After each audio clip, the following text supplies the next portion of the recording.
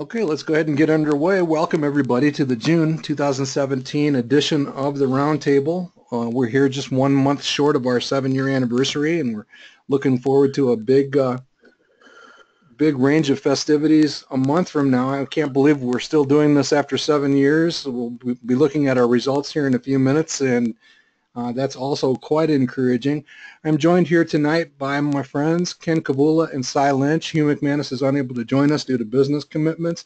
My name is Mark Robertson, um, founder and managing partner of Manifest Investing. Both Ken and Cy have been investing for a long time, picking stocks for a long time, and both of them have very solid track records and in the in the realm of actionable stock ideas. That's why we're here. We're here to share ideas and just have some fun. We are approaching some new highs. We do like to have some fun. We did sneak uh, Nick Strategos. He's a edu uh, investment educator, volunteer in Pittsburgh because you know you do this for seven years, things do repeat, and, and the Pittsburgh Penguins did repeat uh, on, for the Stanley Cup this year. So we stuck, we snuck Nick back onto the slide just in honor of that. Let's go ahead and get it underway. Take care of the legal documentation here. No investment recommendation is intended by anything that we do here. This is all about demonstration. We are taking a look at the method, the process, the analysis, the portfolio design and management concepts that have been part and parcel of the modern investment club movement for the last 75 years or so. So everything we do is for illustration. We like the word demonstration. We're, we're taking real companies in real time and showing you how we look at them and how we keep track, of them. And we will be sharing a couple of those stocks here tonight along with a look at the portfolio. Here's our standing agenda. You can see our knight there could go on a little bit of a diet. We have trimmed him down over time over the last seven years, but it looks like he might be putting a few pounds on again. We might have to attack that. Um, again, welcome. If you're if you're brand new here, we, this is wide open. Ken is monitoring. We will go live with people if they want to ask questions. And then we also, as you see down at the bottom, we do have an open Q&A at the end. And we basically hang around and answer questions as long as people have them for the Man, Mark, I have a hand. I have a hand in the air, Mark, from okay. Nan. So yeah. Nan, I'm going to unmute you. I'm going to try to unmute you, Nan. Every once in a while, she, we... she took her hand down, so that was an inadvertent raised hand. Uh, so let's just continue, Mark. Okay. She must have liked something I said and you know th thrust her hands in the air just to celebrate or something like that we do keep track. We're serious about this. We'll talk about what we're doing here, but we do keep track and we we monitor the the performance of our selections. Like I say, there is no there are no guarantees in the in the world of investing, but we really are trying to bring you actionable ideas that are worthy of further study. We are going to take a look at the current condition of three companies tonight, Whole Foods, Bio-Techne, and NIC, ticker symbols EGOV there, and with respect to possibly selling them or removing them from the portfolio. You see the three stock picks there by Cy, Ken, and myself, EPAM, Middleby, and Kroger. We do an audience poll at the end, and again, even if you're joining us for the first time, again, a big welcome hug and an invitation to participate in the audience poll when we get to that. And uh, we, we keep track of what everybody votes for and how they do over time, and we just literally try to have some fun while we're sharing ideas here it is, just the, the summary of what we're doing. Uh, the people that, that come here and, and make representations and stock suggestions are people that have demonstrated an acumen or a skill at, at doing this by winning various contests or participating as educators or purveyors of model clubs across the country. You can imagine, and all, it's a simple thing we ask, just bring an idea. Bring a single favorite investment opportunity to describe the type of opportunity that we see. Um, we do want to outperform the market by five percentage points. We'll take a look at that in a second. We benchmark versus the Wilshire 5000, and we would like to see the majority of the stocks that we select actually outperform the market during their holding period. Well, here's a look at the results on a month-to-month -month basis. Going back over the seven years, you can see that uh, what you're looking at is the relative return. Uh, the relative return is nothing more exotic than comparing the actual performance of the investments we make versus mirroring benchmark investments in the Wilshire 5000. So what you can see here on the far right, we are now at a point where we're up to nearly 3% better than the stock market. In other words, if you've taken all the dollars that we've invested in a theoretical basis over the last seven years, we would outperform $1,000 investments in the Wilshire 5000 by three percentage points. That actually comes out to be 12.5% that you see up at the top here. That's the absolute rate of return. The calculation is no different than what you do with your club accounting or your Bivio club accounting. Same type of thing. It's a rate of return. You can see about half the picks have worked out over time. What I get kind of juiced up about is that trend is in the right direction. The other thing is it is near an all-time high for relative return since we started. So we'll just we'll just hope that uh, that continues, and that's a good trend to be chasing.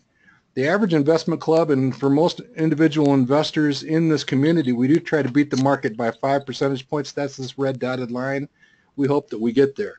One of the Knights is actually operating north of that line, and uh, but he's not with us tonight. So kind of wish he would phone in his uh, his pick for the night because it could be a good thing. Any questions at this point, Connor? Any comments that you want to make? No, we're staying real cu- real current, Mark. Okay. Cy, how about you? Any comments as far as patience or? Patience is a good thing.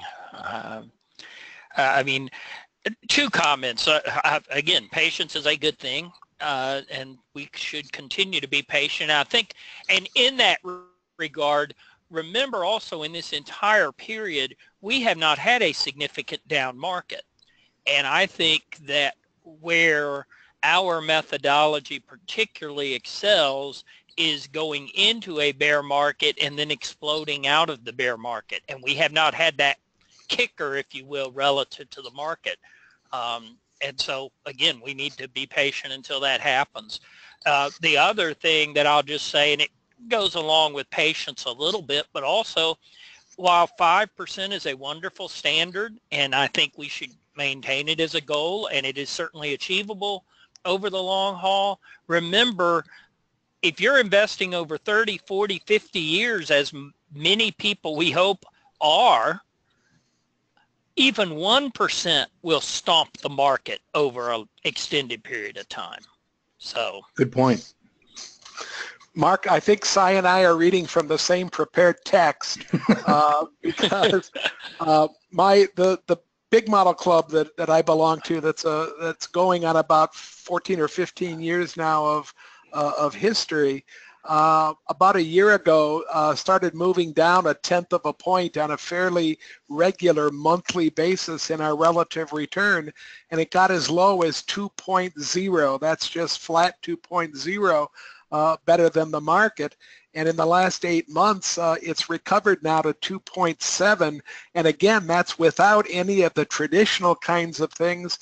It just means, I think, that when we, we find an exceptional stock, it's, it can stay exceptional in a good market as well as in a bad market. So uh, I'm, I'm really pleased with what our model club's doing, and I'm especially pleased with what this huge tracking portfolio is doing. I think it's demonstrating some of the best things that we can show from better investing philosophy and better investing methods. Yeah, absolutely. And I'll, I'll just pile on and say that Cy's absolutely right. When we look at what happened in 2008, 2009, while it was gruesomely painful, what we did witness across the community was shallower drops and much more rapid launches coming you know out of that great recession bear market uh, horrible time frame and we haven't had that I hesitate to use the word opportunity but we haven't had that type of thing as I was saying. So yeah not that we wish for that but we certainly want to be in the position to take advantage of it. All right let's go ahead and press on Here's the actual um, top 20 by percent of total assets. In other words, the 20 largest positions in the tracking portfolio. There's about 90 selections made over the last seven years in the portfolio, uh, ranging from the, at the top, you see Cognizant Technology. And by the way, that link at the very top of the page will get you access to all 90 of them. What we do is we invest $1,000 into each idea when when it's actually either nominated or voted affirmatively. So in the case of Cognizant at the top, you can see it, that number 12 next to it. That means it's been selected 12 times. So $12,000 has been invested in Cognizant over the last seven years. That $12,000 is now worth 20,585. And you can use the key down at the bottom to see how many times these various stocks have been selected. A couple of these are actually uh, one-time selections like NetEase. We'll talk about that in a minute. One-time selection means $1,000 has been invested in NetEase. It's now worth $6,500. Um, they don't all work out that way, but uh, we, we're certainly grateful when they do. So you can you can basically break it down and see you know who the major contributors are to the portfolio performance and the the strength in Cognizant over recent months probably has Cy breathing easier and certainly has bolstered the portfolio performance. Any other comments about any of those guys? I just wish, Mark, that I would have been as stubborn about uh, NetEase as Cy was about Cognizant. That's all. yeah, yeah. We'd probably yeah. be on the on the cover of Barron's if we'd done that. yeah. Rats.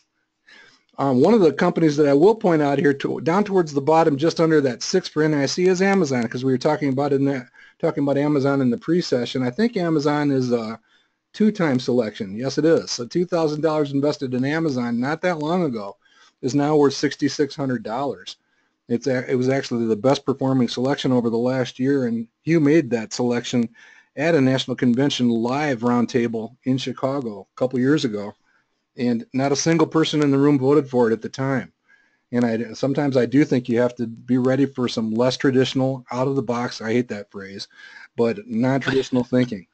And uh, I would just urge people to give that some thought. Ulta was also selected by Ken at uh, at the national convention last year. Yeah, what, what I like, Mark, is that when you read down this list of the top 20 holdings, uh, we're not really reaching for unknown stocks in most cases. Uh, I think our community is probably familiar with 16 or 17 of these stocks. Even the casual uh, members of our community, I think, can probably say that they know at least a dozen or more uh, of these stocks. And and these are the backbone kinds of stocks with some exceptions on the list, but these are the backbone of, of what good, better investing portfolios uh, include, what they, what they put into the portfolio so that they can begin to approach that 5% beat the market kind of goal. Absolutely. By the way, that universal display, I just have to point that one out. That's a three-time selection. It's the fifth largest position in the portfolio. Ken and I selected it on the same night, and the audience uh, seconded our motion or thirded our motion. So $3,000 has become 13000 We'd like to have a few more of those too. Absolutely. All right, so let's go ahead and talk about what we might do with the portfolio itself. And this is a, I'm not going to go too deep into this tonight. We've been kicking this around for over a year. Ken and I did a presentation at the National Convention recently. We're also going to do a encore performance of that uh, the Tuesday after Labor Day. And we'll be obviously talking about this over the next couple of months where we're going to summarize the type of stuff we've been looking at. And it really comes down to, I'm going to refer to them as two rules. The first being Rule 1. Ken, do you want to explain the genesis of what this Rule 1 is kind of about? Uh, based sure. On- I, one of the, the things that I like to do, and, and I got the bug from Mark, uh, I don't know, 10, 15 years ago, but I really like to go back to some of the literature that was prepared by the Better Investing Association when it was called NAIC uh, back 20, 30, even 40 years. Uh, I'm especially fond of the investor's manual that is copyrighted, depending on which particular copy you have, copyrighted somewhere in the mid to late 80s. And when I was reading about selling in that particular investor's manual, uh, I I found that the, the gurus at the time were quantifying sales. They were saying 90% of all sales have to do with a single reason. And the single reason basically in simple language is to try to make the portfolio better. That leaves the other 10% of your sales for reasons like you need the money or the company is absolutely falling apart and you're going to sell no matter what. Although a case can be made that even when a company is falling apart, you sell it to eventually make the portfolio better. So uh, that's rule one. And we decided, uh, can we come up with some triggers that will help us a little bit on rule one? Uh, both of us are kind of fascinated with the rule of five. Uh, it appears in a lot of different investing uh, uh, literature, not only literature associated with better investing. I think the original rule of five uh, comes out of uh, Graham, doesn't it, Mark? Dodd and Graham? And it's kind of a tug of war. It could be David L. Babson. It could be um, T. Rowe Price. Um, well, they're all playing around with that that idea, though, at approximately the same time. Peter Lynch definitely published some stuff about yeah. it and and what Mark and I are doing is trying to, you know, the, the simple reason about using the rule of five, and if you're not familiar with it, it says that out of every five stocks that you choose, one of them will perform perform much better than your SSG says it will, and three of them will perform pretty much in line with what your SSG says it will. So that's 80% of your choices will perform at or above a well-prepared conservative SSG, but that leaves one that just doesn't perform and you scratch your head and you try to come up with a reason why and and it's kind of impossible to do so. And and if you want to take portfolio management down to its most simple terms it's to get rid of the one stock out of the rule of five that that isn't working and to try to keep those out of your portfolio in the first place. i don't yeah, I don't think that amounts to, to a huge amount of selling uh, in any given year, uh, but I think it does uh, amount to maybe selling a stock or two in any given year. You know, we were tarred with the brush of being uh, buy and forget investors in the late 90s and early part of this century, and nothing I think can be further from the truth when you read the writings of the folks that put this association together. When you listen to Mr. Nicholson talk about non-traditional investing, and there's a place for it in a portfolio along with uh, good, solid, up, straight, and parallel investing. So uh, well, I, I think what we're doing is we're searching for some triggers right now, right, Mark? Well, Ken, I'm going to actually steal your thunder a little bit and just, just remind that this is a work in progress. We are still exploring, but this first slide is is what we believe. And In fact, all the investment clubs I've been affiliated with, and I think most of the ones Ken have, this has almost become a, a standard operating procedure. What you're looking at is we take the dashboard or the list of stocks and rank them from the lowest return forecast or the lowest par. Par stands for projected annual return. And rank them from the lowest to the highest. And what you're looking at is, you know, remember there's about 90 stocks in here. These are the ones that have the lowest return forecasts, and I'm just showing the ones that are less than the market average right now. So at the at the top of this list, you see Whole Foods. That's on the hot seat tonight, and I think it's virtually an automatic sell. Why would we say that? I think Cy, Cy was already mentioning something as he came online about this subject. Right. Yeah. Amazon is buying it.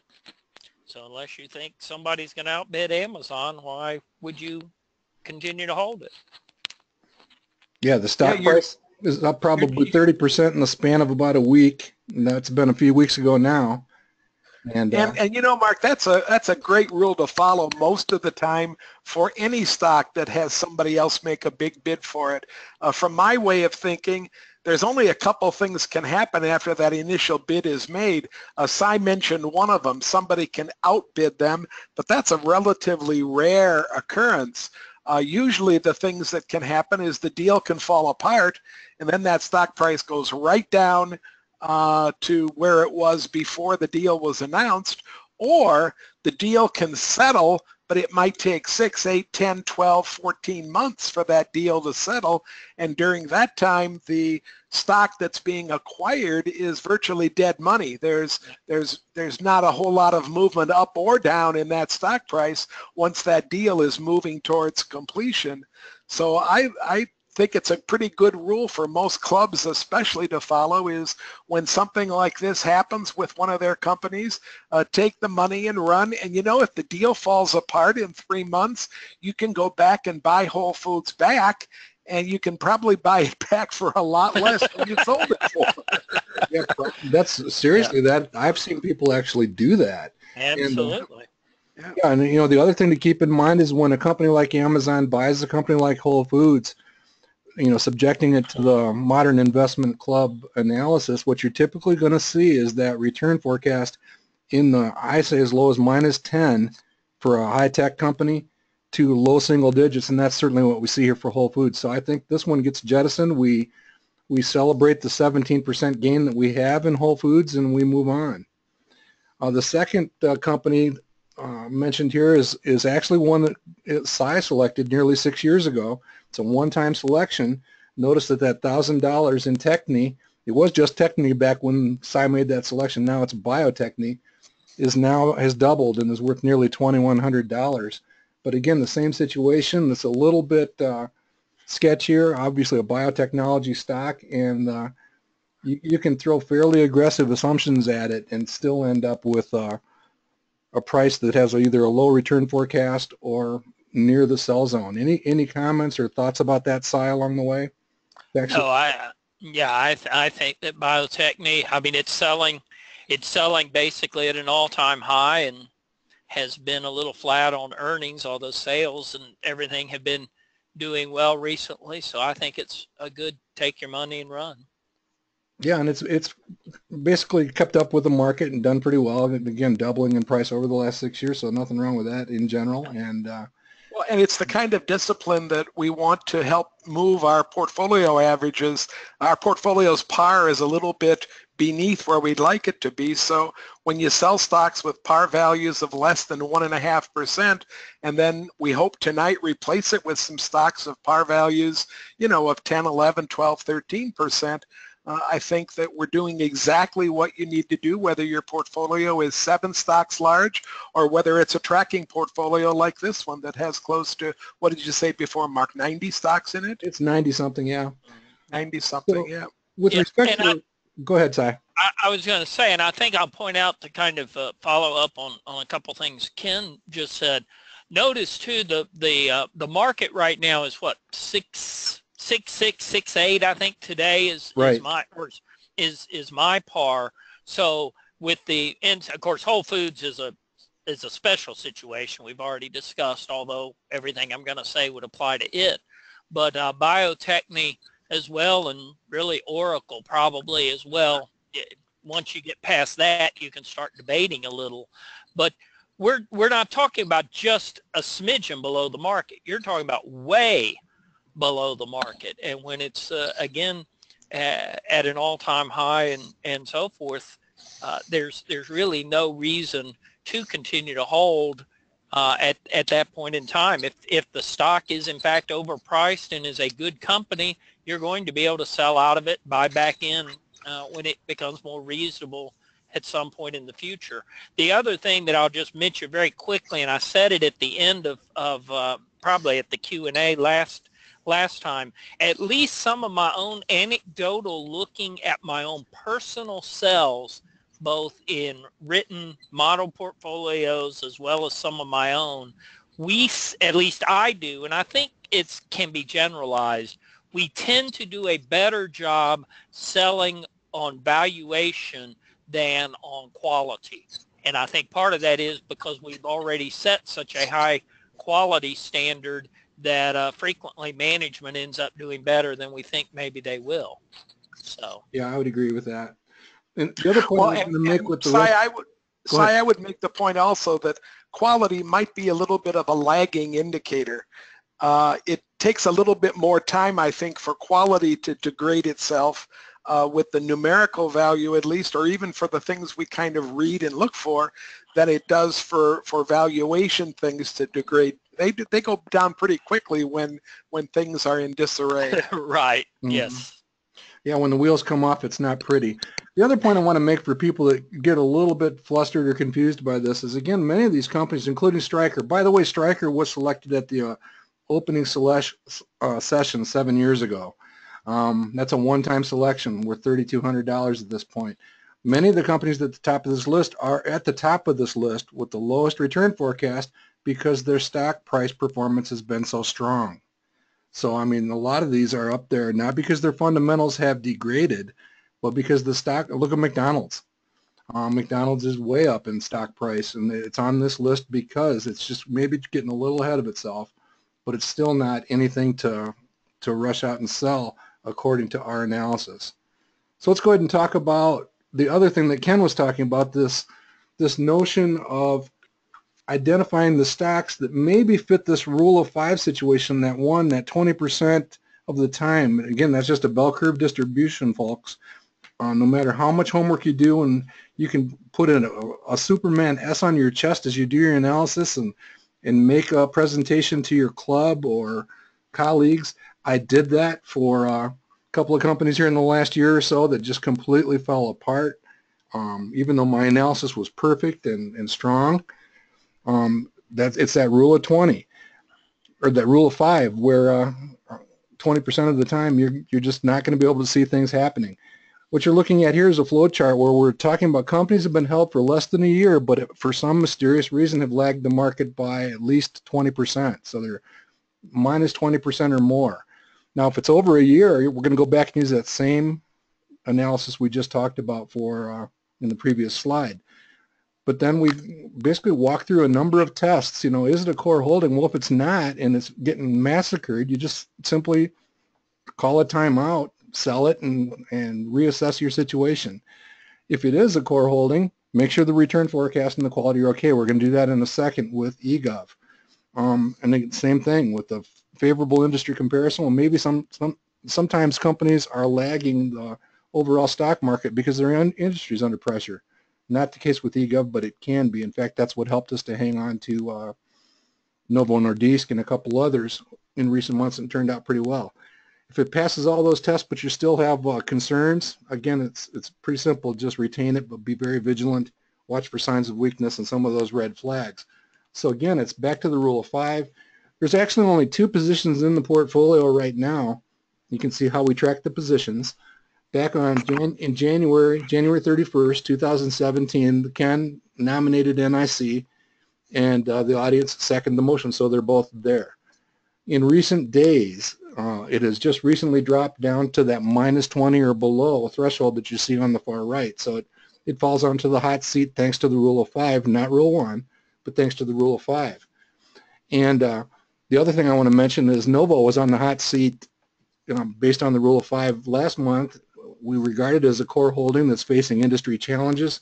So we're hanging in there. Notice that it's actually come back out of the, the minus 20 or below zone and it's actually off the list. Now I just left it there to make a point that our patience has been rewarded and so far Novo seems to be having a bit of a, a recovery here in, in recent weeks. Well, here's the chronicle for NIC. Ken, do you have any comments on on what we're seeing here? No, the, the Chronicle, the blue line is quality, and uh, I like to see that quality line relatively consistent, and I think it's been consistent for, you know, quite a good period of time.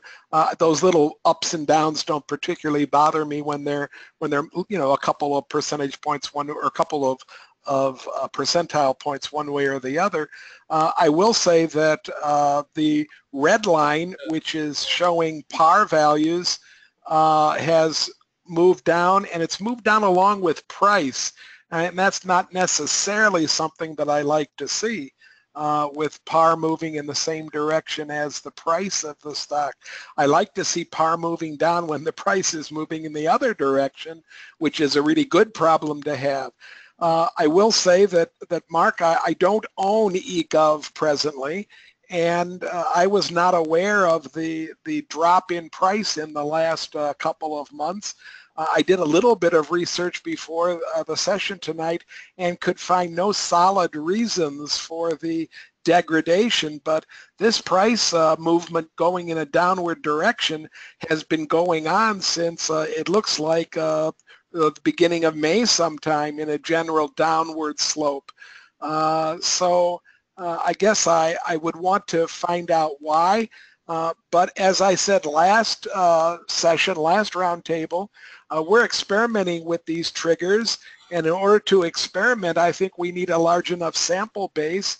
So if our flowchart is showing a sale for these two positions, uh, I would like to pull the trigger so that a year from now we can look back and decide whether this trigger has any validity to it or not. Uh, we're not ever going to find out if we never use it. So uh, my suggestion is we use it for these two holdings and see what transpires. Yeah, this this this actually been selected six times, so we'll be talking about selling just two of the six just to see what happens. And notice, uh, some of you have been asking, and we're, we'll actually have a session on this at one of our Belgium Tuesday sessions. Um, you can go to big charts. And in using the interactive chart option at the end you can actually graph the the company that you want to study here in this case egov and then actually do it. Uh, this was the time that the decision was made back at the end of december. So they all start together here on the left hand side of the chart. And then compare it versus the the wilshire 5000 this one shown right here. You can see how well the company has done or or how poorly it's done versus the wilshire with that red line. You can see here's definitely a, a 20% difference. That's what, where that 26% difference comes from. But the thing that bothers me a little bit is we, we know some of the companies are pre under pressure, the information services and technology companies in this realm, but this is the industry group. Uh, it's internet. I don't remember the exact phrase for it, but this is the, the index for the industry that eGov is a part of. And the thing that disturbs me is that during this entire drifting downward, and again, we don't have a rationale or anything to explain that yet, the industry itself has actually performed pretty strongly.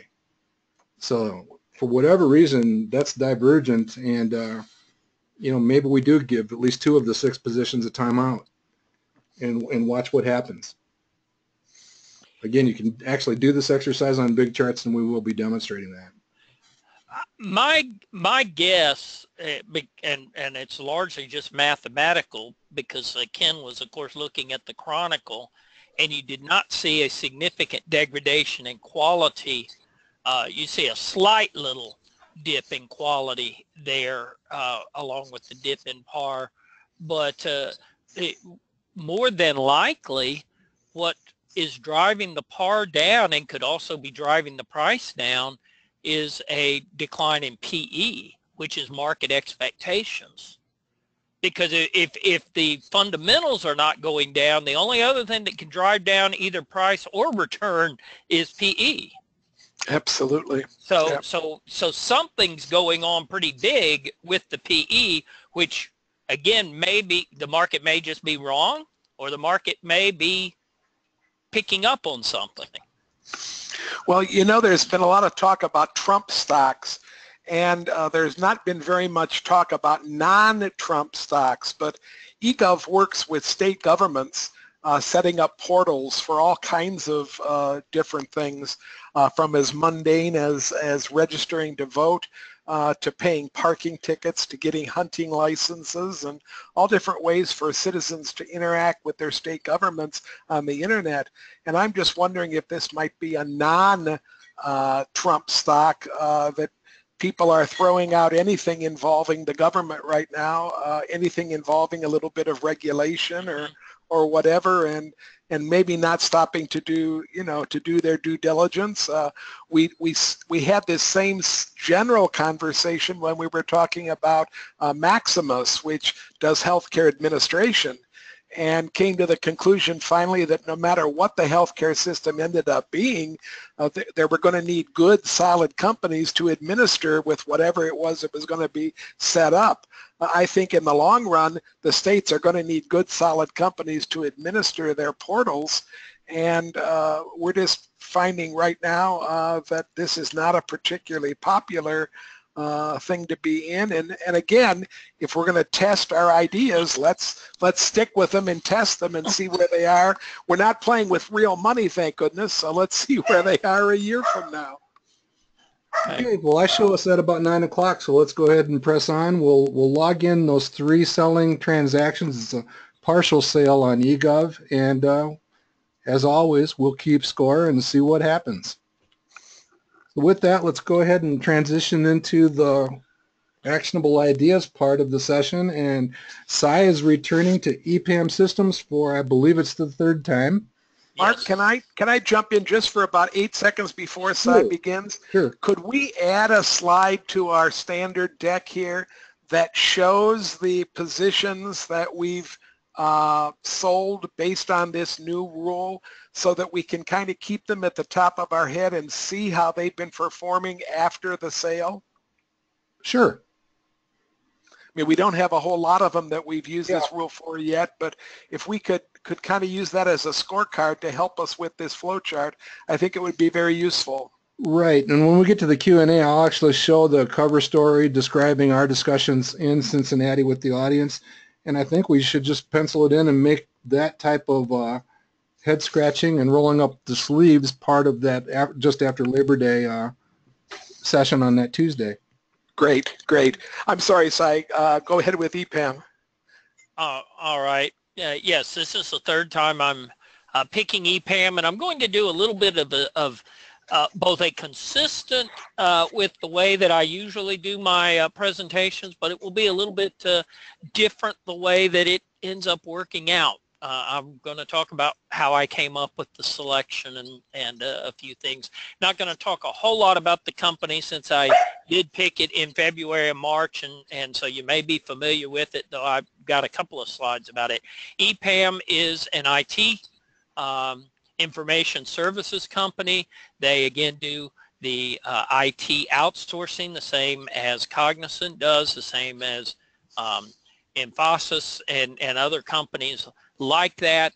Unlike those companies, EPAM tends to be U.S. based and somewhat European based in its customer base, but it is uh, essentially former Soviet Union as far as where its worker base is. It is not an Indian uh, or an Asian based um, outsourcing company as far as the, the overseas. So it's a, it's a little bit different take there. You can see um, the record for the company very up straight and parallel, and it has been around uh, for over 23 years now. Um, so it's while it's got a relatively limited public history, uh, the company itself has been around for uh, quite a while. Next slide. Uh, again, I did as I have, uh, as I frequently do and have uh, recently, I started by just taking the round table ranking by par, seeing what came up. And as you can see, EPAM's right at the top of the uh, green zone uh, here, so it was attractive to me. next slide. well, I'll also point out, go back just one second, Mark. Uh, notice what I did between these two slides, I, I wanted to test and see if there was any any other company not in the portfolio with comparable characteris characteristics, and I took the quality and the par at the time, and I just rounded both of them down, and so I did a, a stock search on 90 quality and 16 par, which is then the next slide. Again, EPAM pops up. You see some uh, yellow companies have been added, but nothing uh, has come up, uh, particularly in the um, uh, around the same uh, area here. Uh, next slide. I ended up, and and I I did this preparing for the slide this morning before I went into my office, and then when I was came back home and was preparing the slides for tonight, I'll be very honest, I don't remember where ADS or Alliance data came from. I, I, actually thought it was Mark's Ivory Soap screen, uh, but it did not pop up there. But on, on some playing around screens, uh, Alliance data came to my attention, and I was actually going to do Alliance data as uh, uh tonight's presentation um, despite this looking around uh, EPAM that you, you just saw. Uh, but notice uh, the par is significantly different. EPAM's about 30, uh, about three points higher. Similar industries. They're not uh, by value line and by manifest in the same industry, but but they're in technology. And again, in the technology area, EPAM top, pops up as one of the top companies. So that guided me back. What really tipped the scale for me though is although Alliance Data is uh, listed as an information service company, uh, the majority of their revenues actually uh, come from credit card processing. They're, they, they essentially do private label credit cards and they do customer loyalty programs, uh, frequent flyer type uh, programs in Canada and they're expanding there. So that's their area. The, the um, of course, customer loyalty programs, that would be more traditional, but the uh, private label credit cards, they're really a credit card company and none of my analysis nor manifest analysis is done uh, for our, you know, uh, what we tend to look at specialties. um, financial company. So I wanted to look at it more as a financial company before I brought it uh, tonight. So I jumped back into EPAM. So that's how we got EPAM. Here's just quickly what it is. Uh, a leading global uh, IT company. They, they specialize in uh, product development and platform engineering. That's their software systems that they write. Uh, they're, as you can see, it is a global company and uh, has some uh, Forbes and Fortune endorsements. Uh, the next slide's what I really like about the company, just in looking at it, summarizing. Here are, you can see their customers. Uh, they're pretty well diversified across industries. Unlike many of the IT companies, uh, they're not um, overly concentrated in any one industry, although they do go pretty heavy in the financial uh, services and the travel companies. Uh, but you see their spread and notice that they um, have the top companies in their area as clients. Five of the 10 largest banks, you can see five of the 10 top TV networks, uh, all 10 of the top pharma companies and uh, and the like. So they, they've got a good, solid client base. And again, it's both geographically, uh, I left those slides out, but if you want to go look at the presentation on the company website that these slides are pulled from, or this slide is pulled from, you can see that they are a very diversified um, on both geography as well as customer uh, base IT company, which I think gives it some uh, good uh, staying power uh, in the industry. Uh, because as Mark noted earlier, uh, talking about eGov, um, certainly um, that industry, this IT services, the outsourcing, and so forth have been under significant pressure. Next slide. This is where I decided to get a little fun. Uh, I just, um, I picked eGov the end of February, which is the first green arrow down, and then the end of March. You can see that, and then the uh, gold line at the bottom, that's the uh, uh VTI ETF, the Wilshire 5000 uh, proxy that we, we can use to track relative return.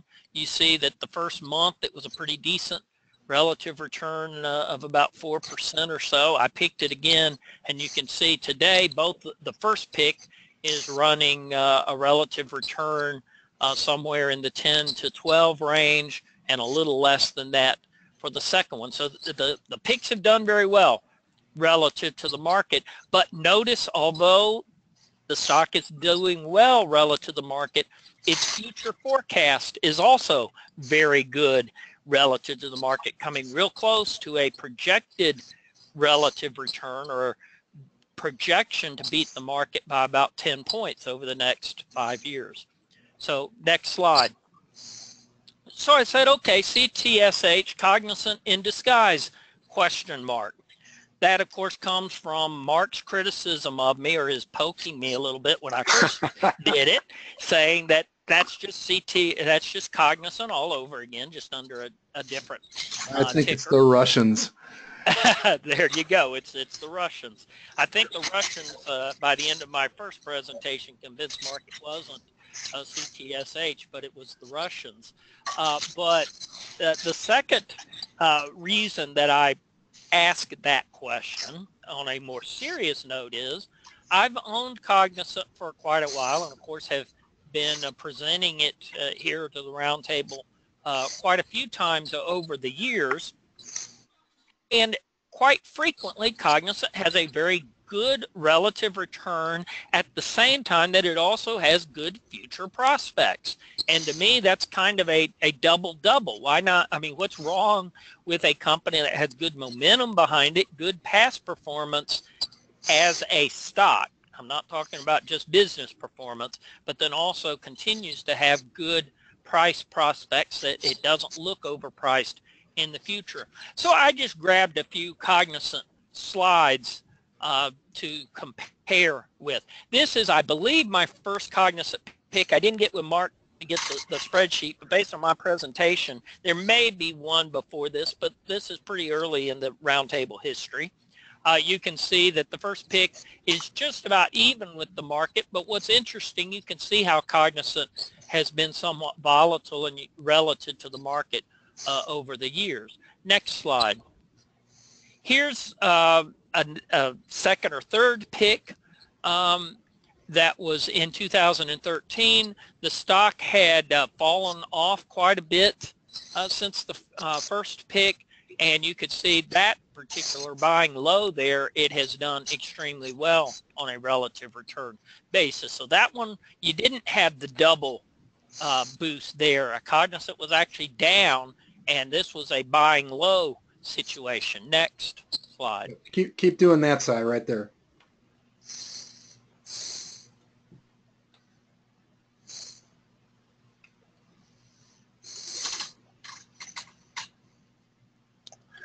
Uh, Cy, we've lost your audio.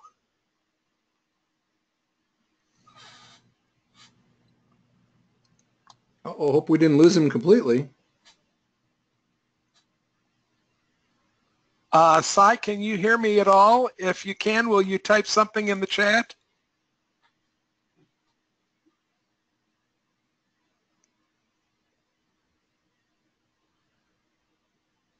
Okay, Mark, we've lost Cy's audio, so maybe what we need to do is... We'll go ahead to yours. Maybe you can come back and join us, and then... Okay, sounds good. Slide 19, just remember that, so... Okay. Let's go ahead and go ahead with you, and then we'll come back and let him wrap... Uh, Cognizant, or uh, uh, EPAM. when he gets back. All right, I've chosen to present the Middleby Corporation this evening. Uh, some of you might know a little bit about Middleby. Uh, they have a, a, a definite uh, definition of what people think they do, but uh, as I've been listening to different people talk about Middleby in the last uh, year or so, I've discovered some very interesting growth drivers for this company, and uh, they've gotten me intrigued to the point that I think that this might be a stock that is underappreciated right now. Uh, Mark, first slide, if you would, or next slide. Uh, Middleby is in three different business uh, segments. Uh, they have a lot of presence in commercial food service, and this used to be uh, as much as 85% of the business they did. Uh, you can see that today it represents 55% of their revenues. Uh, they also have developed a food processing presence, and that presence has stayed relatively consistent uh, at about the 15% you see there. But the place that there's been a lot of growth in this company has been in premium residential. And today that represents 30% of Middleby's uh, uh, revenues, 30% of, of what they bring in in the form of earnings per share, uh, I mean, in the form of revenues comes from premium residential products. Next slide, Mark you'll see that by segment, uh, the uh, residential is a, about uh, 30%, and it brings in right now only about 20% of the earnings. You'll see that they're still making more money uh, uh percentage-wise uh, from their commercial food service products than they do from their residential products. But I'm going to make the case that that might be changing. You'll notice that food processing is about 15% of revenue and about 15% of earnings. If they can continue to keep that blue section pretty big, but widen that green section so that the residential earnings match the residential sales, uh, I think you have a company that's that's going to be on quite a tear in the next three or four years. Uh, next slide, Mark. Uh, you might not recognize very many of these brands uh, because these are brands that commercial sources use to stock their kitchens, to equip their kitchens. And uh, uh, Middleby is first in pizza chains. In fact, you can read that list as well as I can. First in fast casual, first in Pan Asian, first in regular casual dining. Uh, so that you can see that Middleby's products are uh, equipping the kitchens of, of huge numbers uh, of uh, commercial uh, kitchens, commercial food preparation uh, situations throughout the world. And again, I don't recognize a lot of these names. I happen to have a son that's a chef, however, and he assures me that he knows a lot of these names just by, by recognition. So next slide, Mark. Uh, here's the uh, brands that some of you that, that run a high class personal kitchen might recognize. Uh, you might recognize Viking for their high-class stoves. Uh, but the one brand that I don't think any of us would recognize unless we happen to have come to this country via Europe is the brand AGA. AGA is the largest uh, provider of uh, refrigerators and stoves to uh, Great Britain and to most of Europe. And AGA is a recent acquisition that was made by Middleby. And you can see in that little pie chart that I've split out down near the bottom that while Viking used to be the lion's share of the business that they did in residential, uh, today it is AGA with more than half of the revenues coming from this recent acquisition uh, and this international brand. AGA is beginning to make a small foray into the North American market, but it is the largest brand bar none uh, in the European markets. Uh, they also have been moving into other markets that I think I'll show you on a slide coming up. Click again if you would, Mark. Yeah, there we are. Uh, there's been a lot of change in where Middleby sells its products. And they're making huge inroads, especially into Brazil and into the United Kingdom, Kingdom and Australia. Uh, they also have major initiatives in India, the Middle East, and China. Uh, and so they're expanding what used to be a, a fairly North American directed company and they're growing by leaps and bounds internationally. They more than doubled their international business last year, and they're on track to double that business again this year. Uh, they've also moved from a kind of a fractured way of selling their products to national accounts teams, which have greatly streamlined the way they make sales throughout the world. Uh, they've established this residential platform. That's a $3 billion market and the establishment of the platform came through acquisition. The first major acquisition was Viking. That was four or five years ago, and this AGA acquisition was just within the last year. Uh, they are acquisitive, but they are growing organically by about 7%, and then you add some major acquisitions on top of that, you come up with a company that's that's really doing a lot of really decent growth and they're not venturing into things that they don't understand.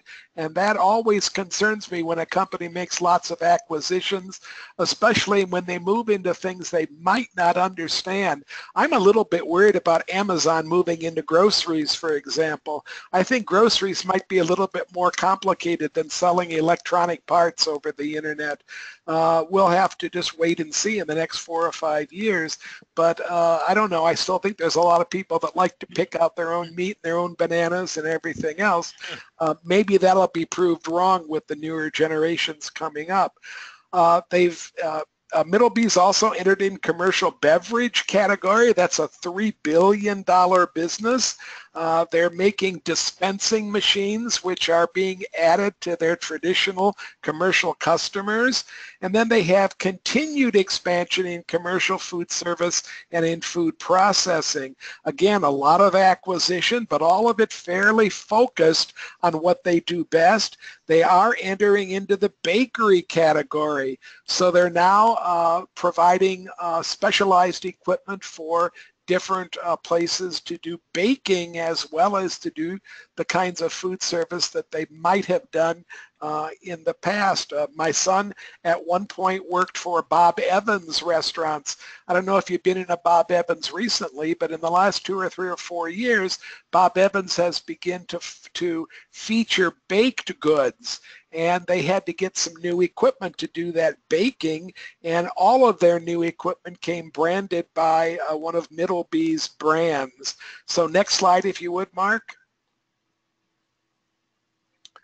Uh, here's the lines, and, and they're pretty decent, up, straight, and parallel.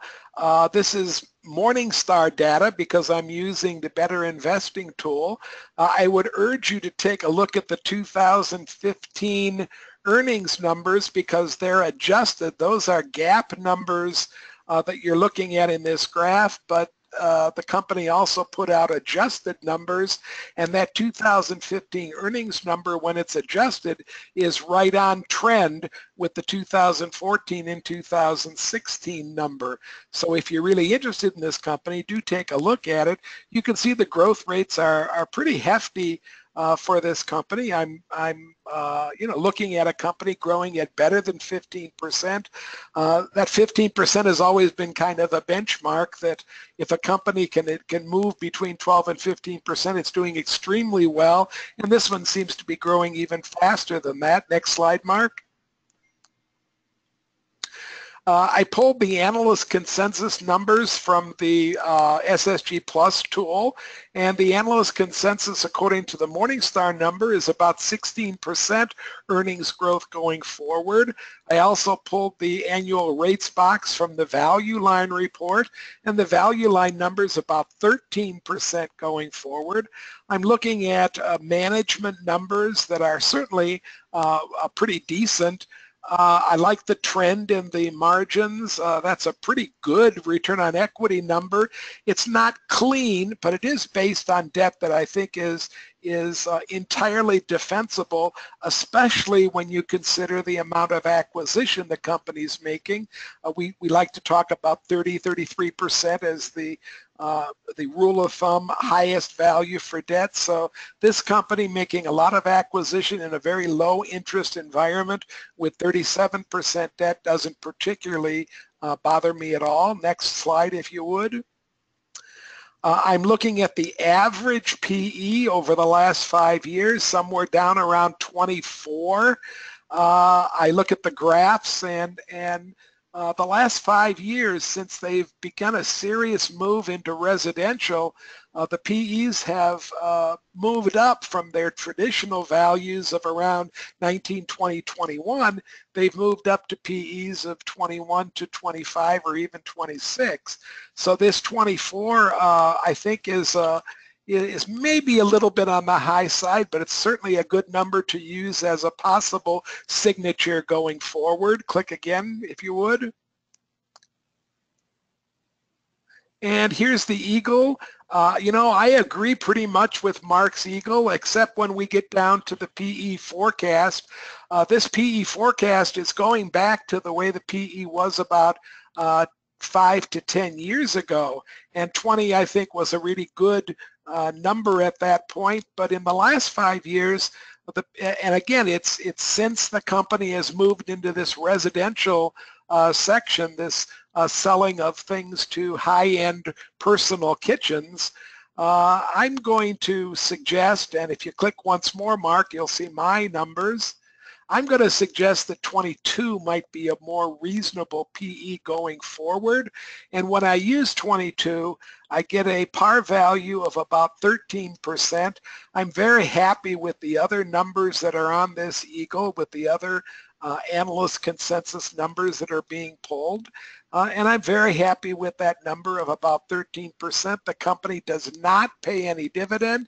It does make a fair amount of acquisition, and there's a boatload of material on the company website if Middleby really intrigues you.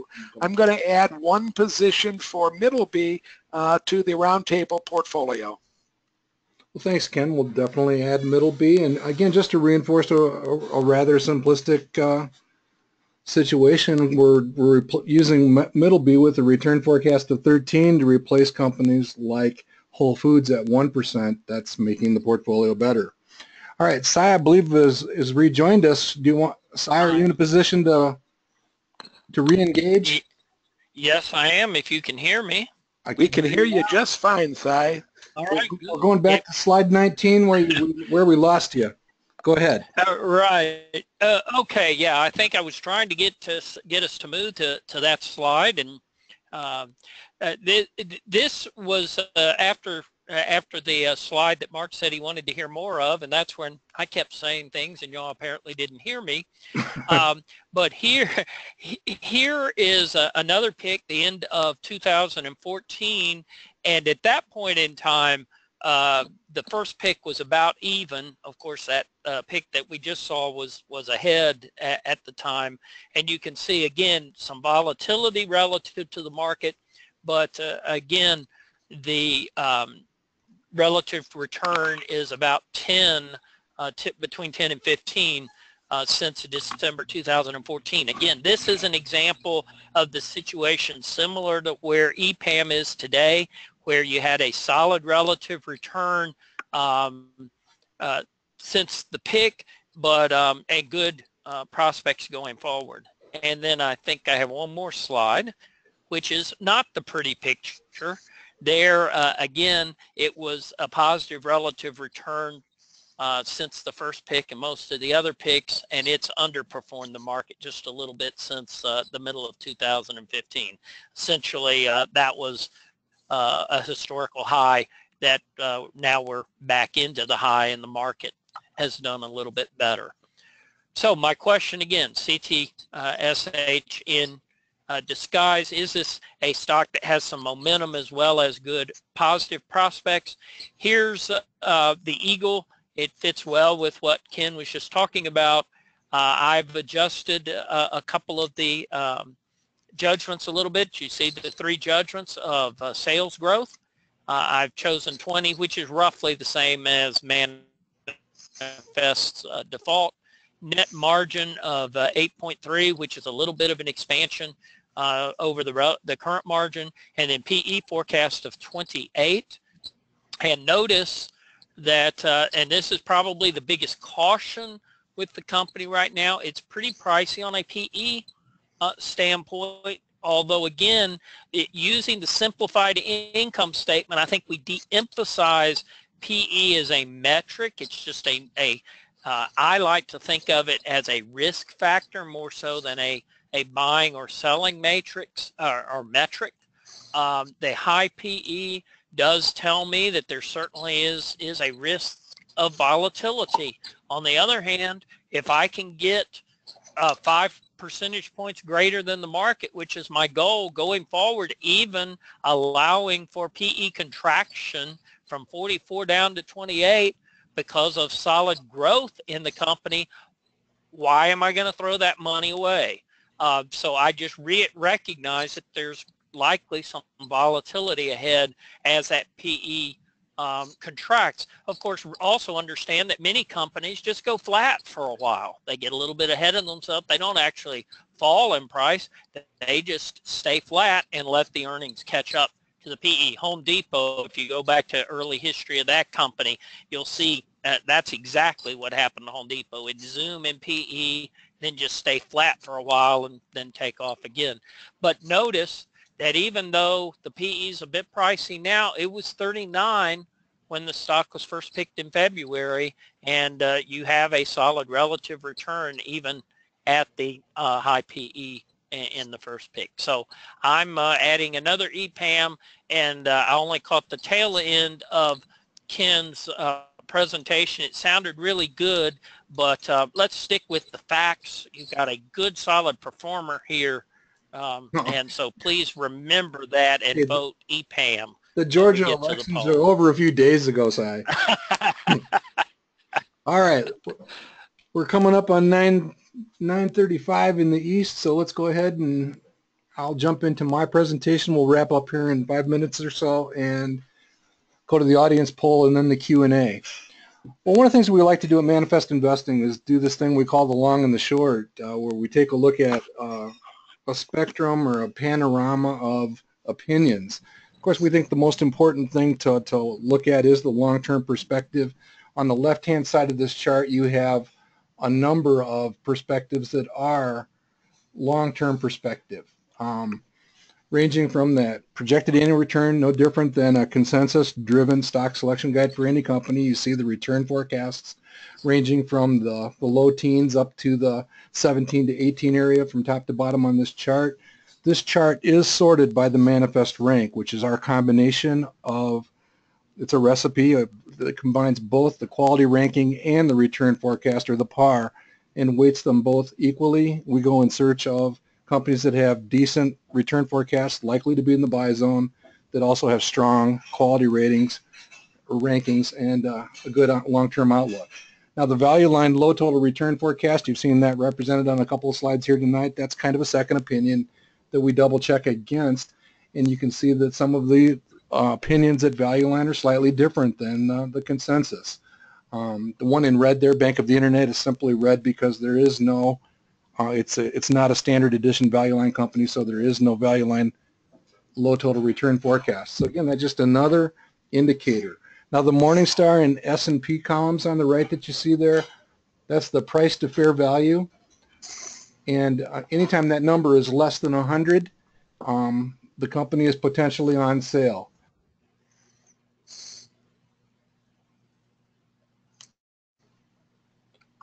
So anytime it's less than 100, it, it, it's pretty good until it gets too good to be true. It can get too low. Sometimes you'll see a number in the 30 or 40% range that probably needs another shoe to drop or something. So again, going down that list, there are some companies that are, are worthy of further study because their uh, price to fair values are, are a little bit lower. Now those last three columns, that is the one-year target price type expectations. Put a lot less credence in those, but maybe use them as a tiebreaker in a situation where if the the rhinos, the Wall Street and institutional analysts have pretty decent expectations over the next 52 weeks, you know, maybe that will give you some uh, momentum or positive inertia from uh, the get-go. And obviously, if they all, if they hate your stock, then that can be uh, like swimming upstream. Could be helpful for accumulation, but maybe a situation you want to avoid. So just looking down the list, there's a number of companies. Notice that EPAM is number two on the list size selection for tonight. CBS was featured last month. Uh, again, I'm just going down the list looking for something that kind of resonates with me and gives a little bit of consensus. And I, I come down to Kroger. And in the heels of the thing we talked about earlier, Amazon's acquisition of Whole Foods, companies in this industry and well into the sector have just been crushed. And uh, Kroger is the one we want to look at. It has a decent long-term forecast, very decent operating history, decent management, and decent expectations pretty much across the board. So this this will be posted to the website and uh, blog, and you'll be able to take a look at this chart later if you want to dig into some of those others. Here's what Kroger looks like. Don't have to go too deep into this. It is up straight and parallel. It is not an exciting growth company. It's a it's a moderate, mature company in the the mid single digits growth range. Uh, call it five to six percent. It has decent projected net margins for the industry that it's in. Uh, actually pretty razor thin compared to many industries, but not too bad. Compares favorably to companies like Costco and certainly very favorably to other grocers. Um, the PE ratios expectations are in that 13 to 15 range. And uh, if you look back to the most recent Value Line report, which will be updated here in a few weeks, the stock price was in the $30 range back in that time frame and uh, the return forecast based on their assumptions would have been somewhere in that 13% range. Again, the low, which is a good second opinion, to always compare years against uh, in that 9% range. Well, the stock price did drop down to nearly 20. We'll look at that in a second. And that actually puts us back even with more conservative assumptions, lower growth rate, lower PE ratio. You could argue for a little bit more robust PE ratio there that just drives this number up if you if you want to play with the sensitivity analysis. The profitability picture for this company is outstanding. I mean, they've been doing a nice job running their business. PEs have kind of bounced around with, but uh, again, somewhere in that mid-teens, that 15 area, 13 to 15 is certainly a reasonable type uh, consideration for that. you can see that the stock price on the announcement of Amazon's acquisition of Whole Foods just basically did a cliff dive. That's what you're looking at here on the far right on the on the stock charts uh, image there. Down at the bottom, I've taken out everything but the quality and the return forecast from the Chronicle so that you can see that, interestingly enough, the things that Kroger's been doing just here within the last year have actually ratcheted up the quality versus some of its competitors pretty well. We like to see that. And with this price drop, uh, this will update at the end of June. Kurt locks in the, the, the snapshot of the companies at the month end. So when the end of June comes along, you're going to see uh, all-time high, at least in the last five to six years for Kroger up in that uh, range somewhere up in this area here. So we'll, we'll like that a whole lot also. I'm going to go ahead and add Kroger to the portfolio and hope that we have a bit of a special situation here. The other thing that we can talk about a little bit is Amazon and their strategy. They really are attacking Walmart. And they're, they're attacking uh, a Walmart and then on the, the high end with the Whole Food stuff to get the distribution center. They're really not after, at least not in the first phase of uh, what they're trying to do, these companies in the middle like Kroger.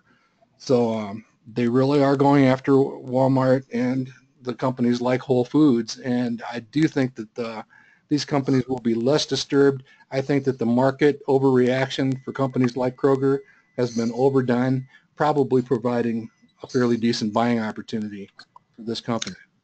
Mark, we have a hand in the air, so I'm going to unmute Ann Manning. Ann, go ahead. You're unmuted. Uh, yeah, my question was a long time ago. Um, it was about when we were talking about the rule of one, so we can go back to that during discussion if y'all Well, want to do that. Let's table Okay. Q&A, and We'll do that. Thank you. Okay. Why don't you go ahead and go to the poll, Ken, and we'll press on. All right, give me just a second here.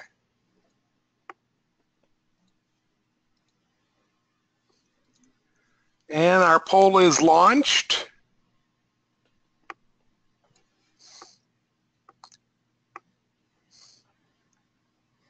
Again, everybody is invited to vote.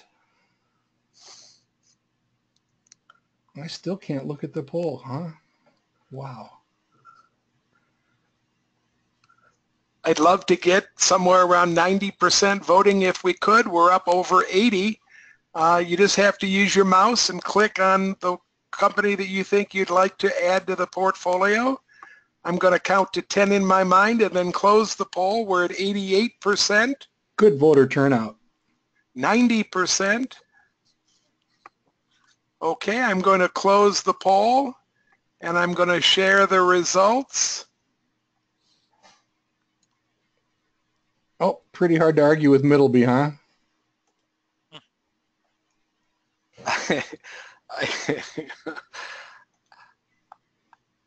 it you know when I'm picking really good stocks and I add a position, I, I really think it helps the portfolio. But but my uh, my record has not been as good the last eight or ten months as I would like it to have been. So There's room I for appreciate your confidence, folks. I, I think these are three decent uh, picks here tonight. Let's hope that uh, the rule of five doesn't haunt any one of them in particular. So I'm going to hide the results, and we're going back to the um, uh, to the coming attractions right there. Uh, again, I want to talk up the the event in Cleveland. Uh, this will be at uh, up near Mayfield, Ohio, up near the lake, and uh, it'll be at a library up there. You can get directions. This is a Thursday evening. We'll be doing a lot of portfolio management activities. If you're anywhere near Northeastern Ohio, uh, come say hi. And then on August 19th, Mark and I will be near Harrisburg, Pennsylvania. we'll be spending an entire day with the Central Pennsylvania chapter. And again, if you're anywhere near that area, uh, there is a small fee attached to it. Lunch is also included. Uh, come on and, and join us for an, a very interesting day of, of talking stocks and, and uh, again, we're going to focus a little bit uh, on portfolio management and we're going to talk about selling uh, among some of our other topics. Mhm. Well, we're going to be Mark, working up some other Mark? presentations in a variety of different areas. We just loved it. We learn so much from you guys when we're out spending time face to face, and it really does. It helps considerably. The other thing that I. I just wanted to mention here tonight is we are going to put on more programs on Tuesday nights that are not roundtable nights. Um, we'll do a couple here during the summer, but beginning it with the beginning of the school year with that presentation on September 5th that you see there, we're going to try to make it a regular thing where we'll tackle a subject of interest, whether it's even an individual company or some of the more finer aspects of some of this stuff. And we'll, they're probably all pretty much all going to be scheduled on Tuesday and we will have video archives up and running of uh, the, the roundtables over the last several sessions. I've been kind of busy here the last couple of weeks, but um, those will be up and available here very soon. And we'll certainly save those other presentations also if you're unable to Um, attend on Tuesdays. And- Mark, and, uh, my, go on, uh, go on, Si. Yeah, I say I, I didn't uh, mention it to y'all to get, get on the slide, but the Atlanta or the uh, Georgia chapter has an education fair on July the 22nd. That's a Saturday. And you can, of course, check their, their website and get details. But uh, I will be, be appearing there and talking about one of my uh, current favorite things. It's a long time favorite thing, but I haven't actually done formal class in rethinking risk. Um, so we'll be we, we'll be talking about why volatility isn't risk, but it's opportunity. Uh, so if you're anywhere in the uh, southeast and you want to drive a ways, or certainly the Atlanta area, uh, join us uh, for that. Uh, Doug Gerlach's also appearing, and and uh, several other people. I'll go ahead and add that to our events uh, listing also, Si, and make, make people aware of that also. All right. Okay, Mark, we do have a, a pretty uh, nice set of questions here. So if you're ready to move into Q and A, I'll I'll start firing some at you, some of them at you. Okay. I'm going to go back to where Ann was just at, but go ahead. Okay, Leo would like to know uh, if you could just really briefly explain the components of quality and how a company like McDonald's might arrive at a 95 quality score. Okay, let me go ahead and jump out of this and just real quickly go to my favorite website. And since Leo mentioned McDonald's, what you're looking at for a company like McDonald's, for any company, you can go to the company report page and, and see the consensus judgments. Uh, for example, at McDonald's, we're using a growth rate of 3.4%, net margin of 26.6, and a PE ratio of 16. So that takes a lot of the mystery out of what are they what are they thinking. But what I want to show here is here are the four components of quality. And uh, the financial strength rating is very close to a A++ rating for uh, McDonald's. The earnings per share stability is the second leg of the stool or pillar. And again, that's a very consistent, fairly straight earnings line. And then what we do is we compare the sales growth rate for the company versus its peers or competitors and the profitability, in this case measuring the net profit margin forecasts for the company versus its peers or competitors. And uh, what, you, what you see here for McDonald's is actually a fairly strong rating. Now that's the raw score. We convert that into a percentile ranking. Percentile ranking is what you see up at the top. And again, that's the number that most people can resonate with. Again, it's in the top five percentile of all companies when you basically take those four elements. Again, financial strength, stability or consistency in the form of a fairly straight earnings line, and then a comparison of uh, the growth and profitability characteristics versus a company's industry. Mark, I'm going to add, add a little bit to your answer if it's okay with you. Uh, Leo's question focused on uh, the fact that McDonald's has uh, some negative equity right now on its balance sheet. And uh, I want to just emphasize that the first two scores in the quality component are coming from other sources. They're not numbers that Mark has made up out of whole cloth. They're they're nothing more than composite numbers coming from sources like Value Line, Morningstar, S&P, and a couple of other places.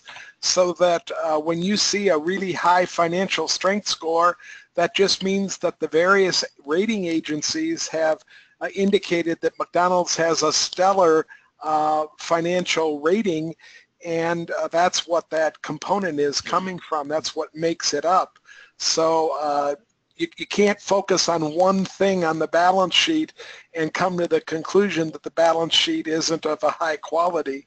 Right. Well, Uh, the, the reason McDonald, the reason McDonald's, and, and this is beyond what we need to talk about, but I'll just throw it out and, and everybody can explore it. The reason McDonald's has negative equity is they've bought back a boatload of stock.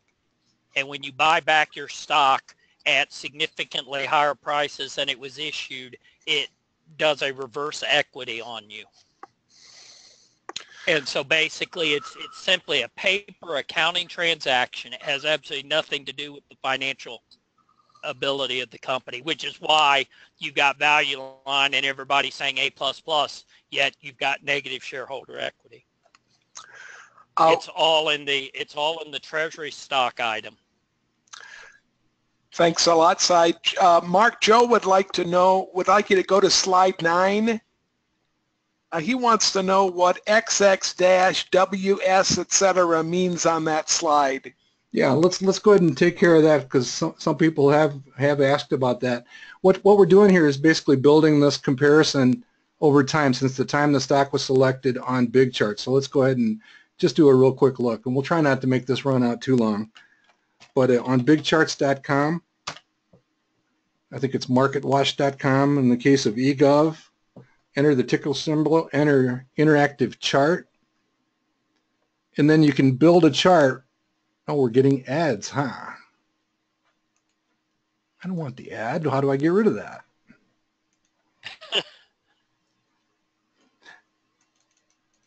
Unbelievable. Okay. Um, and under any company, down here, when you click through on the industry, you actually are taken to a, a industry page for the company.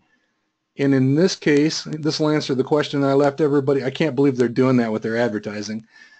I need to turn on some of my filters. But in this case, the industry that's involved is the Internet Online Index. And if you look at this ticker right here, I don't know if I can highlight it or not. This ticker right here is that industry.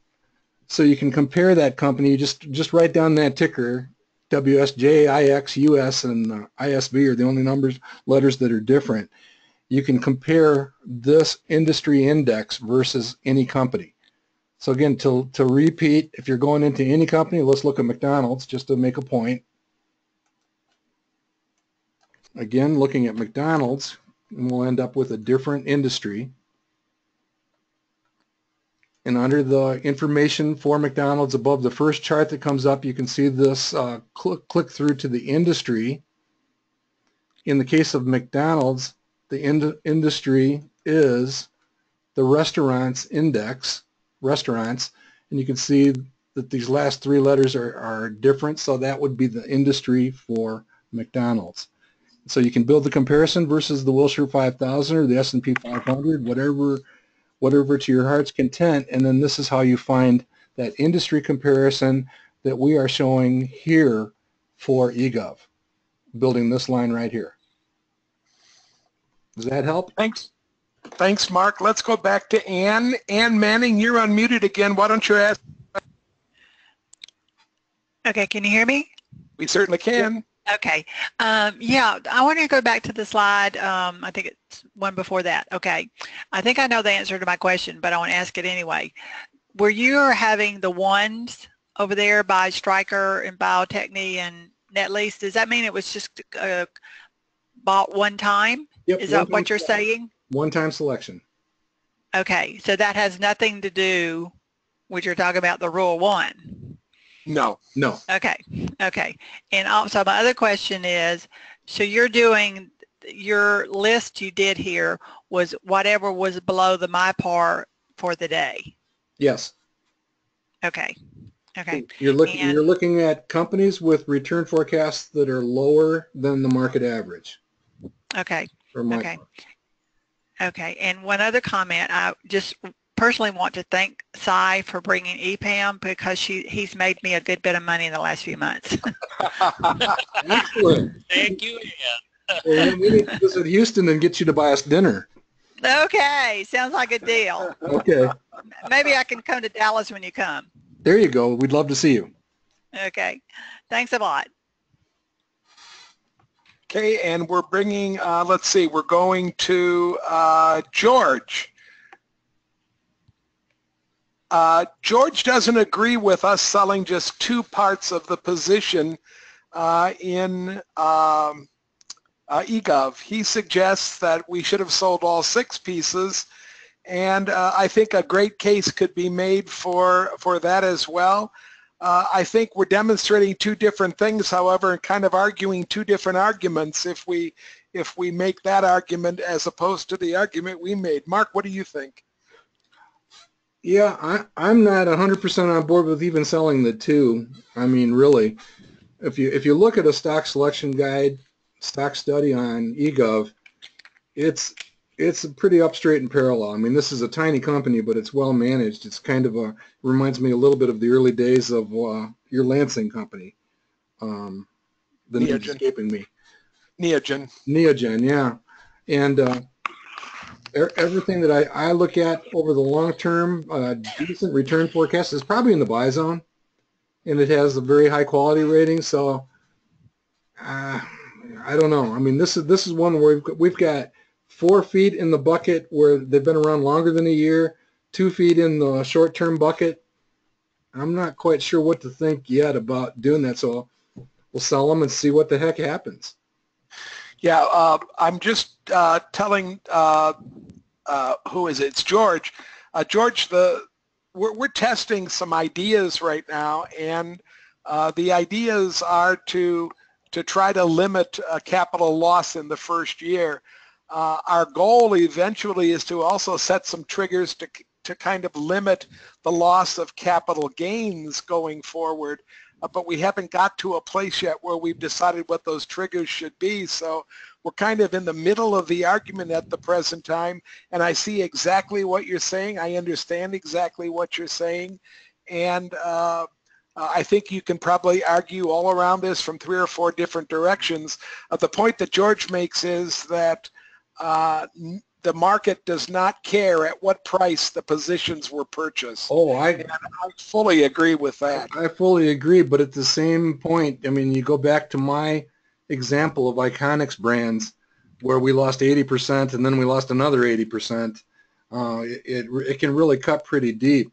One of the things that I did want to show the audience, if especially if you're Manifest subscribers, if you're not and you want this this article, send it send me a note.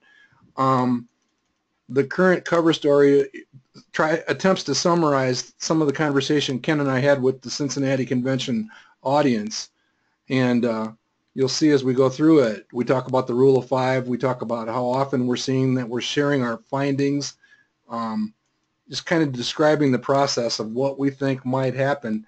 So you can actually go to that at the Manifest Investing website, and I'll probably post this on the blog if somebody asks me to. The, the blog is expectingalpha.com. So if you want a little bit more depth on the stuff, and then there's also an article going back a year ago when we first started talking about this stuff. You notice our sell button there, where we went through, and this is this is the point we were just making about maybe maybe selling those two positions. This gets a little bit grainy here, but this was that Iconix brand stop limit at 20%, and then we watched that thing fall all the way down here. We we think that avoiding that type of situation can make a substantial difference in the portfolio over the long term. Uh, we have a comment. The only thing I'm is, going, Si, yeah. yeah, I, I- and and I I understand the theoretical uh, side, and I don't even uh, you know since it's something that that we're playing with, I don't even think that it's necessarily bad to to talk out of both sides of our mouths and hold some and not hold some because it, it can even give you some some easy comparisons. The thing is, though, uh, I will side with George in that, again, what matters is our relative return going forward. And the relative return going forward from today is the same for all six positions. I abs- and I trigger- absolutely the agree with you. trigger- Yeah. The trigger may be only two positions, but you know, as of today, that you know, we're going to, like Mark said, either losing. It may be, especially if the the early positions have done extremely well. It may be a loss of accumulated capital gain, you know, Right, a loss unrealized of gain, yeah. as opposed to a loss of principal. But the reality is the impact on your real life portfolio is identical by all six positions. If it's going to crater like Iconix, those four positions we're holding are going to crater. It's just they're going to crater from a different position. Right. Right, and if it's going to crater, maybe that teaches us a lesson about what we're trying to do as well then, right, Si? Absolutely. Maybe, yeah, that- And- and if you get course- rid of, if you get rid of one out of six, you get rid of the other five as well then, yeah. That's that's right, and and of course, and I as I've thrown out in this discussion, and again, I realize this is being being discussed. I'm not. I, I understand some of the theory behind it, and I think it's intriguing to look at. I'm not. Uh, we, we've just got to see what happens.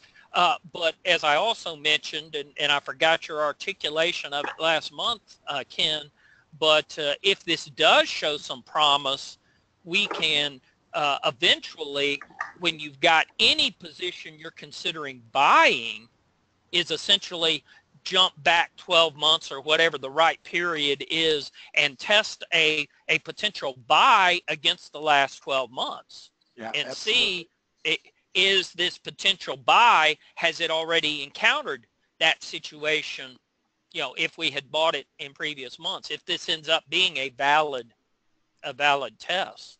Yeah. So, uh, so, you know, I, I, I think it is important to, to, to uh, concur with George or, or, or understand what George is saying. And I think it's, it's vital. But on the other hand, as y'all are stress, I mean, even Mark's kind of saying if he wasn't going by the numbers and testing this theory, he really doesn't want to sell EGov. And Yeah, and and that and and that's a perfectly legitimate position, which is why also I don't think it's inconsistent to hold four and sell two.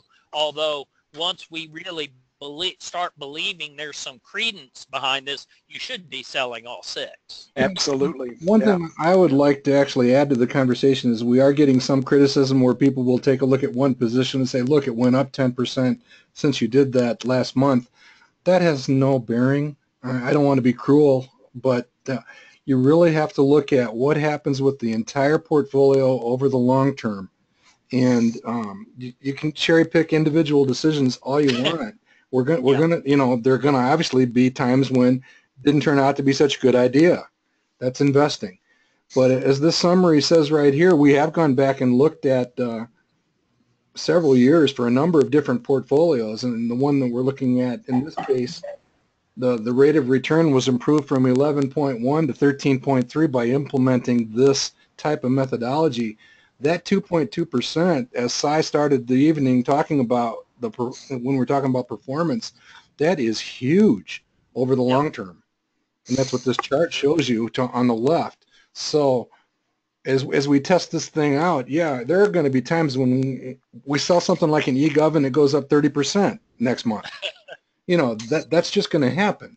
But when you look at applying the discipline and, you know, measuring how the discipline performs over time, if we get anything like those numbers that you see on this page, that that's a game changer, guys. And that's why we're doing this. Oh, yeah. And, and it's no different than back in some high flying days uh, when uh, people I know sold stocks that doubled in the last month and the stock promptly doubled the next month. Uh, that's investing. That's on the upside, but same thing happens. So. Yep. Let's see, Mark, we have a comment from Jane. Uh, Jane uh, is originally from the UK. Uh, she says that uh, AGA, or AGA, uh, as my wife has told me in, during this presentation is the way you pronounce that range, uh, is well respected in the UK. Uh, Natalie is sitting here listening to my presentation and she went on uh, YouTube and found a, a Martha Stewart thing uh, extolling this AGA uh, range. So if you're really interested in Middleby and this AGA commercial range, uh, Martha is talking great things about it on YouTube, okay? If you're channeling Martha Stewart, we got to say goodnight. Yeah. AGA, AGA, Natalie says, AGA. AGA. Uh, all right. Uh, Kay wants to know uh, about the recordings. Kay, we know that the recordings are late. They are going to be put up on YouTube. But uh, Mark has had a very interesting last couple of months, and he's just a little bit behind right now. Would you kind of be patient? And we, we hope that within the next couple of weeks, uh, we will have April, May, and June up on the YouTube channel for you to listen to. Uh, John, uh, well, we're getting comments about specific stocks, and I'm going to skip over those uh, for a moment.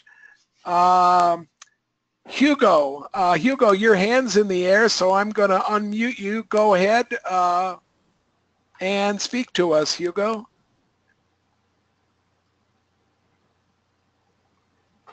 Uh, Hugo, I think you're muted on your end. Can y'all hear me now? Uh, we can hear you now. Oh, great. Uh, I sent in my question on the little box here for the GoToWebinar. Uh, was, the question is, uh, Amazon paid about 800 per square foot for retail space. Uh, it doesn't include warehouses, uh, and maybe they have other plans and uh, possibly enhanced distribution of perishables, and just kind of wondering about any thoughts you have around that. Well, I guess I can field that a little bit since I'm the one who presented Kroger. Um, you know, even in reinforcement of my, my remarks about some of what they're doing, the whole food stuff is all about distribution. They are also um, identifying logistic, the best logistics companies in the country to um, to go after. In fact, I have a colleague who works for uh, one of the leading logistic companies in this area, and rather than wait for Amazon, they went to them. Uh, so they are definitely very focused on the, the distribution uh, challenge. Obviously, Walmart has quite a leg up on them to begin with, um, so it'll be interesting to see how they handle that challenge, but I think they're going about it the right way when they go out and really uh, attempt to secure some of the industry leaders. If you go to uh, Seeking Alpha, and there's, there's a lot of noise on Seeking Alpha, but if you do a quick search on either Kroger or Amazon, there's a number of articles that you can engage in that, that describe what the, the question that are responsive to the question that you're asking.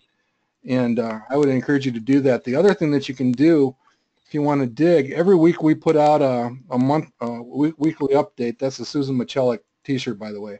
We'll talk more about that. But one of the things we include is stuff that we think is uh, relevant to what's going on. This is a fairly decent article about why Amazon is eating the world. So you just click through to, onto those and you can see some of the topics that uh, this this article is definitely responsive to what you're talking about, Hugo. And there's Mr. Bezos right there.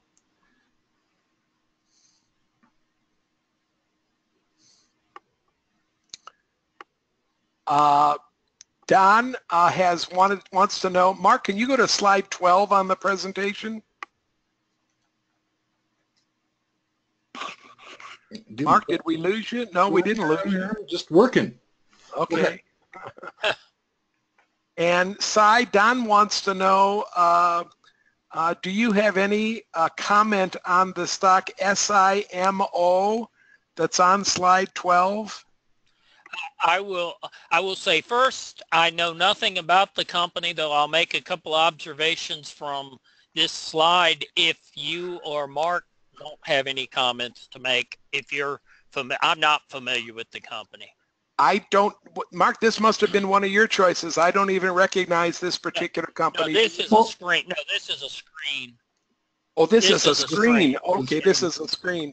I, I'm not familiar with this company at all. No this this is one of those companies that probably qualifies for that Internet of Things conversation that we were having in the pre-session, and uh, you might dig in and study the company. It actually came to us via the, the the best small companies effort that we do every year in the autumn when the leaves begin to fall and Halloween is right around the corner.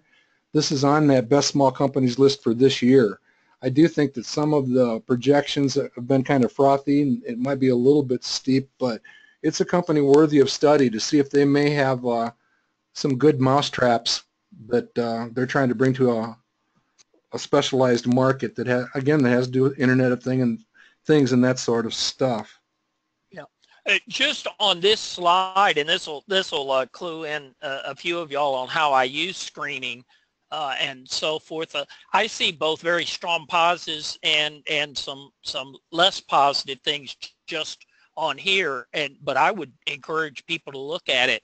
The the biggest negative I see right now is the financial strength of just 60. I think with the market where it is, I tend to, to like 80s and 90s right now. But again, in a that's not necessarily for your whole portfolio. If you've got a strong portfolio that's in the 80 to 90 average, you can get a little uh, uh, a little frothy uh, or or or looser with some. So so that's not a deal breaker, but that jumps out on the negative. Mark was starting to point out the earnings stability, although again on a high growth company, that earnings stability uh, can can be both positive and negative. If you have something that's growing out of growing out of trend, you're going to get a low earnings stability. So that in and of itself isn't necessarily bad, but um, but you would have to look at it.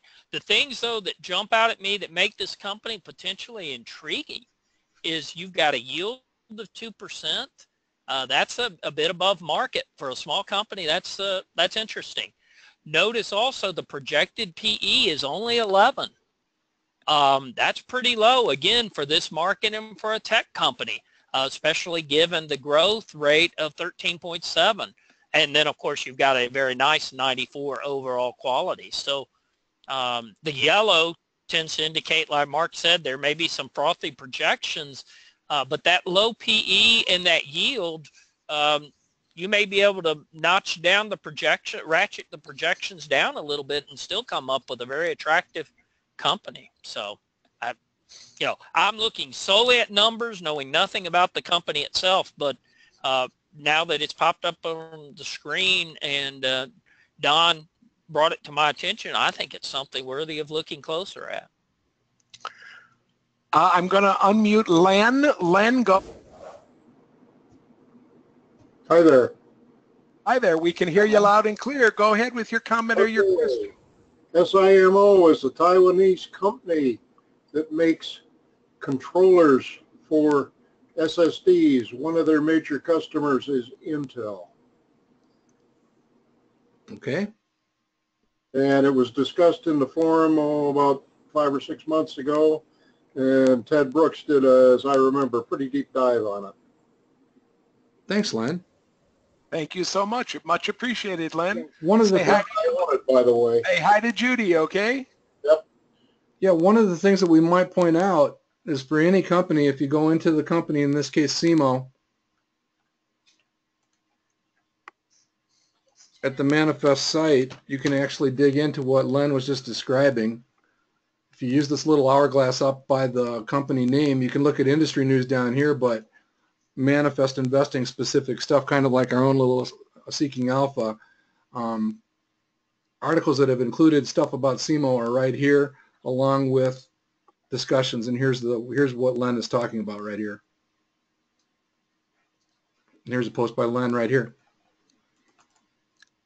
So you can actually get to any company and, and look at uh, discussions. And some of the stuff that's posted there is outstanding. Matt Spielman's work is awesome. Yeah. I'm going to try to avoid just picking stocks at random and talking about them here. So uh, we have some people asking about Buffalo Wild Wings, CHR Robinson, Synchronoss Technology, uh, but uh, we we don't we're not prepared to react to individual stocks in a session like this. So uh, if you really would like us to discuss a particular stock, if you would drop me or Mark or Cy an email uh, five or six days before the next roundtable, we'll try to include a discussion about that particular stock. And again, we can't do that more than once or twice a roundtable, uh, but at least we can answer some of the questions from those of you that are persistent. Yeah, and some of Uh, Ken, some of those Tuesday night sessions that we'll be doing, we'll we'll have an open floor for that sort of thing. We've done that fairly often at some of the open house, open open microphone, open table sessions.